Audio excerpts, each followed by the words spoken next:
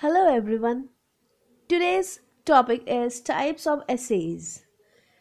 So basically there are four types of essays in IELTS exam which I will show you and in one of the types there are actually two subcategories which I will explain to you. Okay, so let's start. The first one is agree disagree. And in this the subtype is to what extent do you agree or disagree?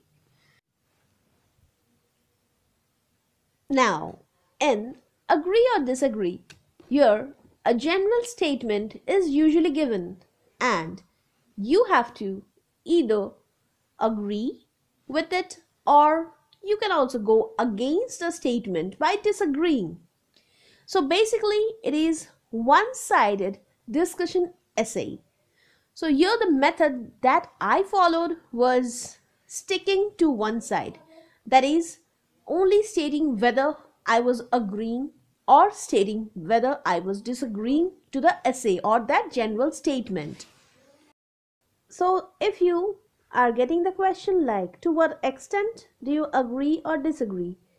Here you can totally or fully, mainly, partly, and not at all agree or disagree with the statement. There are chances of self contradiction in this kind of questions. So the tip is better go for fully or not at all agreeing or disagreeing to avoid self contradictions. In this kind of questions, if we are going for one side, it is better for us. This is because whenever we are saying that we are agreeing and we are giving the ideas and the explanations and support for that we can explain that in a better way or elaborate that in a good way rather than saying we are agreeing or disagreeing in a partial way or sometimes we're saying that we are agreeing or disagreeing mainly with this thing. This is because there are times when we are having only one idea and on that idea if we are saying agreeing and then elaborating and again we are saying we are disagreeing and elaborating. This kind of things causes contradiction in to what extent do you agree or disagree essays. So in both of the essays that is do you agree or disagree? Or the second one the subcategory that is to what extent do you agree or disagree? Here we are giving our ideas we are explaining that and at the end we are giving the examples which are in support of that idea. And then we are just closing the circle that we began with our idea. So this kind of essays that is to what extent do you agree or disagree is one or two sided essay depending on the thing you are saying in your opinion. Because if you are going for totally or not at all it becomes one-sided opinion essay. But if you're going for mainly or partly, it becomes two-sided opinion essay. Now, an example of agree or disagree type of essay that is opinion based essay can be like this. Some people believe that unpaid community service should be a compulsory part of high school programs. For example, working for a charity, improving the neighborhood, or teaching sports to younger children. Do you agree or disagree? Now, the same kind of question can be asked like, some people believe that unpaid community service should be a compulsory part of high school programs. To what extent do you agree or disagree? So, here the both kind of agree or disagree that is opinion based essays the both kind is stated the next kind of essays are advantage and disadvantage essay and there is also a subtype under it which is The questions are generally like Do you think the advantages outweigh the disadvantages? Or vice versa. So, the basic kind of advantage and disadvantage questions in essays, how we answer them. Actually, here, usually a fact is stated, and you have to write the advantage or merits as well as the disadvantages or demerits of that same statement. And here also you have to provide examples. Now, again, there is a chance of contradiction in this kind of essays because if a single statement is given on the same thing you are giving some kind of merits and on the same thing you are giving some demerits. So there are times when we are having only one idea and again we are going for the both positive and negative side of that idea. So in this kind of essays one has to be cautious while answering. This kind of essay are generally known as negative or positive discussion essay now, in the subcategory of advantage and disadvantage essay that we already mentioned, that they ask question like, do you think the advantages outweigh the disadvantages or vice versa? So, here we have to state both advantages and the disadvantages as we already did in the previous type and then we have to provide our opinion. Here, we have to state both advantages and the disadvantages. Then, by providing our opinion, we can state whether the advantages outweighs or outnumbers the disadvantages or not. We do the same thing as we have done in the advantage and disadvantage type of essay. The only difference here is we give our opinion regarding the pros and cons. And again, there are chances of self contradiction in this kind of essays as well. So, this is basically a kind of pros and cons discussion plus our opinion type of essay. An example of advantages and disadvantages essays can be like this. Computers are being used more and more in education. Discuss the advantages and disadvantages of this phenomena. Now, in the subcategory of outweighing questions, same questions can be given like computers are being used more and more in education.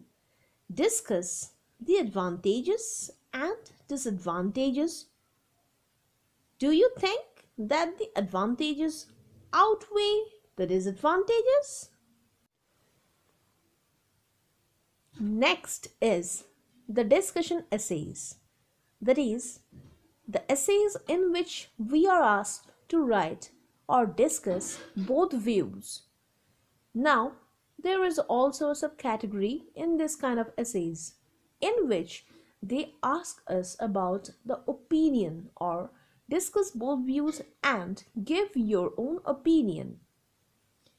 So, in the discuss both views and give your opinion kind of essays, here, two statements are generally given. They are arguments actually. And in one of the statement, it asserts the opposite of the other one. Here, you have to support both of the views like a debate.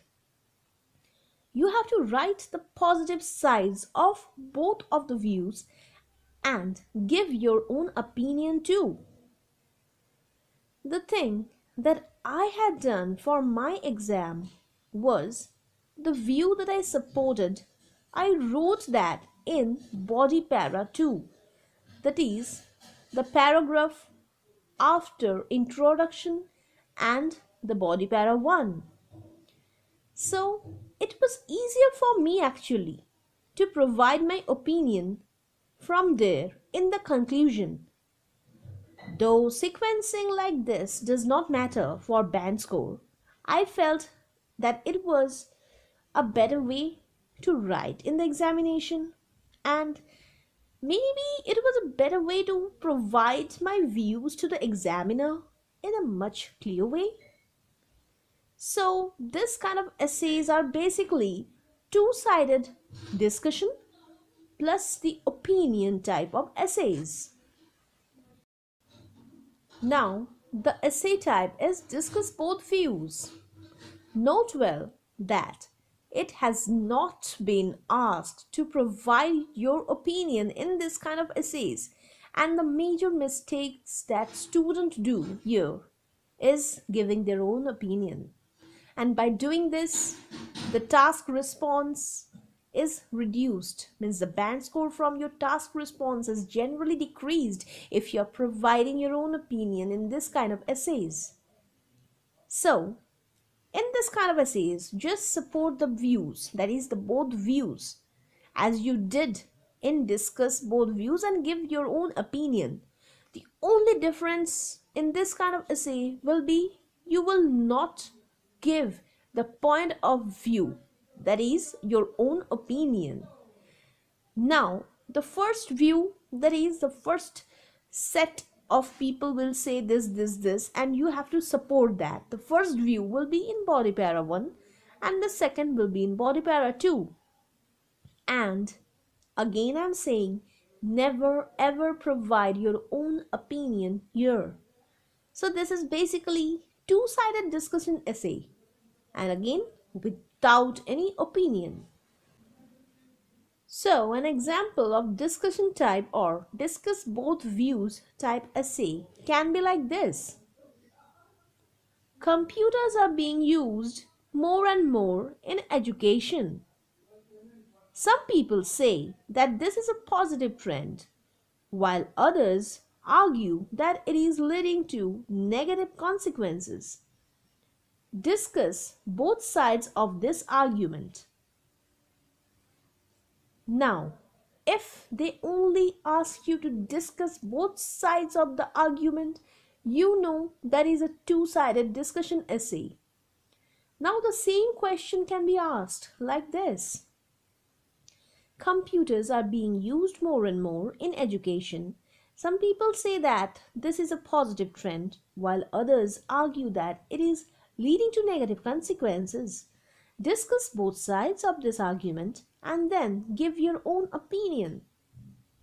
So this one is two-sided discussion plus opinion type of essays and in both of the type you have to support your idea by giving enough elaboration and then you have to provide examples as well. Last but not the least is the two-part question type. And in the two-part question type, the questions can be connected like a cause-effect or effect solution or cause solution or problem solution kind of essays or the two parts may be unconnected like cause or effect or solution plus another question. So the cause effect or effect solution that is the connected two part questions. In this kind of questions we generally discuss about the reasons or the results and the remedies. So maybe there are two or maybe three like they can ask the cause the effect and the solution here. Or only cause effect effect solution cause solution now, while writing the causes, focus on one or two ideas and explain them carefully with examples in BP1 or that is body para 1. In body para 2, give the effects which are relevant to the causes you stated in BP1. For example, the causes in BP1 is the effect 1 due to cause 1 and explain and the effect 2 due to cause 2 explain with example. This is a type of two questions essay. The other type of two question essay that i explained is cause effect solution plus a question like is it positive or a negative trend or something like that can be asked. Now, these are the two unconnected questions.